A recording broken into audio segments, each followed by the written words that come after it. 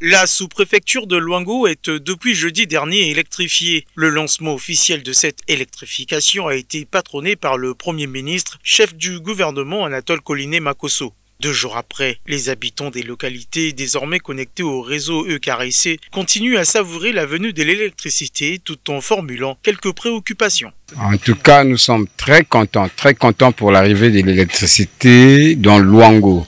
Nous avons entendu cela depuis fort longtemps. Mais sauf qu'aujourd'hui, on voit qu'il a la lumière, la grande avenue est alimentée et aussi les grandes avenues qui sont dans les couloirs sont alimentées. Mais sauf qu'il y a des poteaux il y a des poteaux, là où on a sauté, il n'y a, pas la lumière.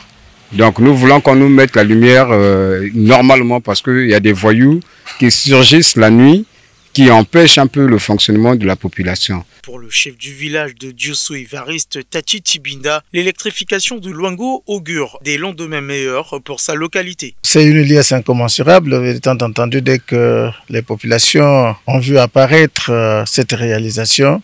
Vous savez que depuis que le royaume euh, de Luango y existe, euh, ce royaume n'avait jamais été euh, électrifié, étant entendu que Boali, en d'autres termes, qui est Diosso, était et reste aujourd'hui la capitale du royaume Luango, n'était jamais électrifié.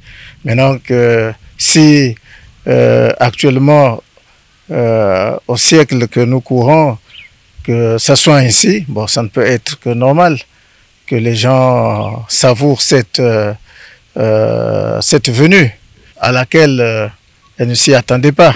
Signalons que ce sont les localités de Djosso, Luango, Lubu, Mabindu, Pointe-Indienne et Matombi qui bénéficient de cette alimentation en énergie électrique.